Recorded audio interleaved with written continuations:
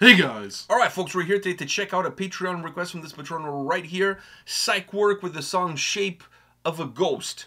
Now, What is the shape of a ghost? I would say there's no shape. right? Very human-like, or There's no shape. there's no shape? I mean, unless you Casper had shape, but True. but he was a friendly ghost. He was a friendly ghost. So I don't know if unfriendly ghosts have shape or not. I don't know. I guess we have to press play to find out Yeah. what a shape of a ghost looks like. Maybe it has no shape. But if it's a fat ghost, it's round. Like what was the name? Slimer. Slimer was round. That must suck. To be a fat ghost. Yeah, like But you imagine. have tons of mobility. You're a fucking ghost. You go through walls and shit. Yeah, Who cares about your size? But now you can't lose that fat ghost weight. I don't fucking care if I can go through walls and whatever. It's not like I'm gonna throw my back out. So who fucking But cares? what if you see a hot lady ghost, and like you're trying to like shoot your shot?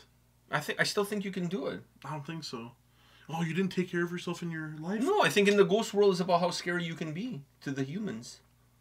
And possessions and shit like that. That's how many possessions did you do last week? One. Okay, I need to find somebody who's like working a little bit harder. It's like the stock market. I don't know. That's how I picture the whole ghost thing going. I don't know. that's the whole ghost dating. It's based on how many possessions.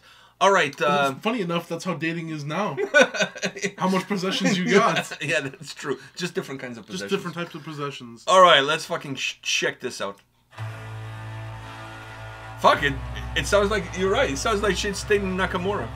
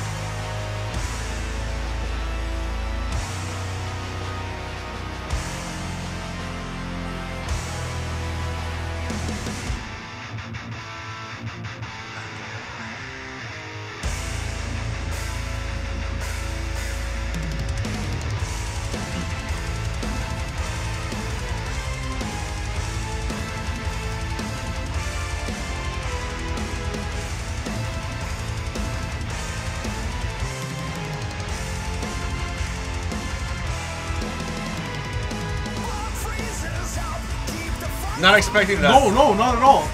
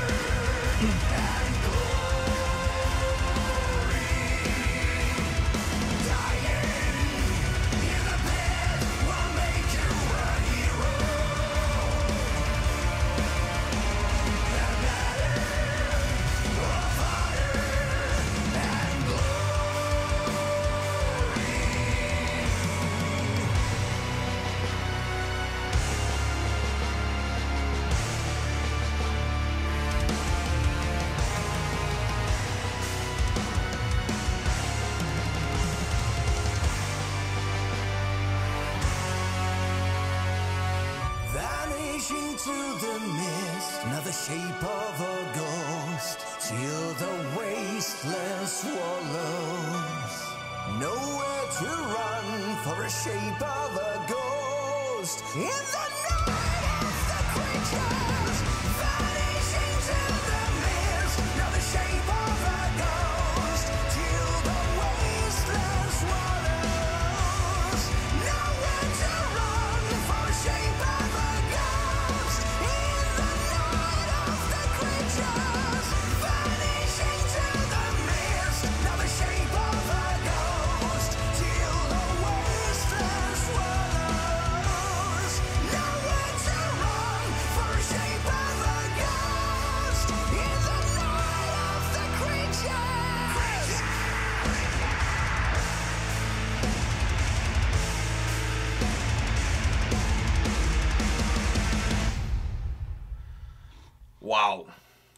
I, can't remember if we checked this band in the past or not, and if we did was probably so long ago that I don't well, I don't remember. But fuck, this this one is not one that it's easy to forget. This was fucking good. Yeah, I mean, it's probably so long ago that we forgot that this was the sound. Because the way it started, I'm like, Because the name is not strange to me. I mm. think I think we've done this band before, but I don't know. This to me I don't remember it at all. And and I think it was very clear to see from our reaction to the clean vocals. Um, the way it starts off, you're expecting some heavy shit. I was expecting some really dark like But then oh, then But this works really well though. you also got like that weird like Sméagol vocal, like the screaming one after, but it was only like a bit. But then he went But then he went back.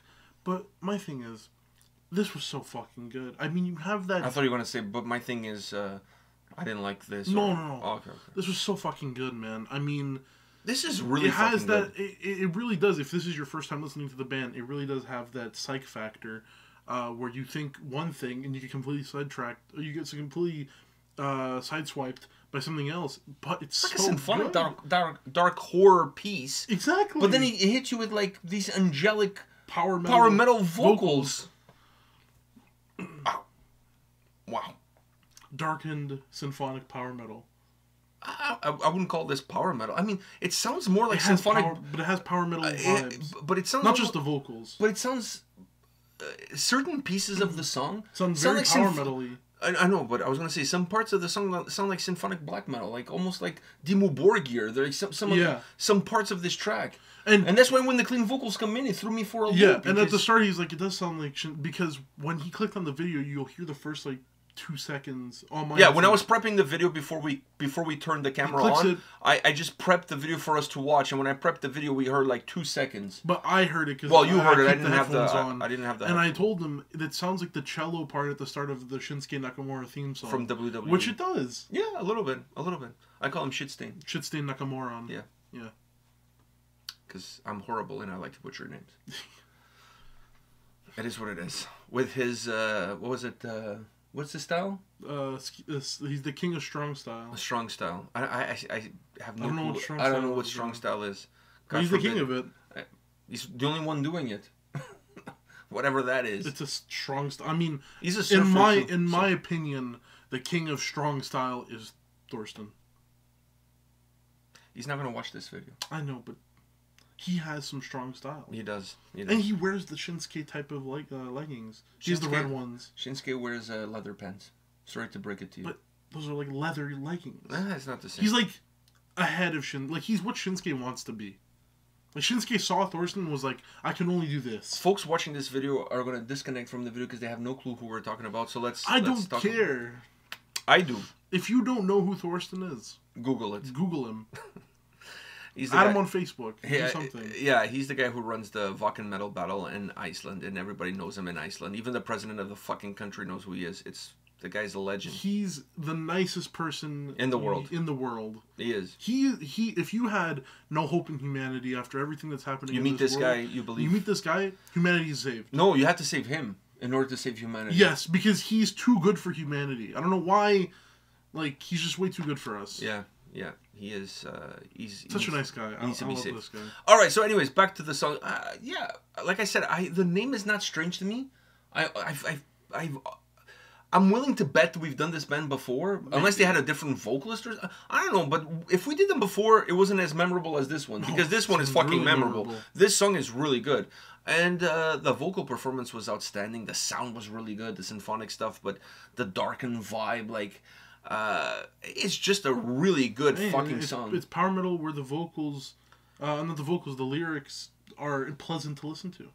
Yeah, but the, the, that's the interesting thing about the lyrics is that the, the the symphonic style of the sound matches the whole ghost, dark, gothic vibe of the lyrics. So it goes hand very, in hand. but they're very enjoyable to listen to. His delivery is really enjoyable to listen to. I mean, the fucking guy's voice is amazing. Are you kidding me? He could be singing. He could be singing the latest Judas Priest song, and I would think this shit is the best. Uh, no, the lyrics in that song are. panic attack! Panic attack! That's why I was making that joke because the lyrics in this song are actually very enjoyable to listen to. Yeah, yeah, yeah, yeah. But I, I feel like he's one of those vocalists that can almost sing anything and he's gonna deliver, uh, unless that something is the lyrics from Panic Attack because Nothing those are unbearable. that. Those are unbearable. Unless you can somehow get like Joe for Fifth for an Autopsy to to do a cover.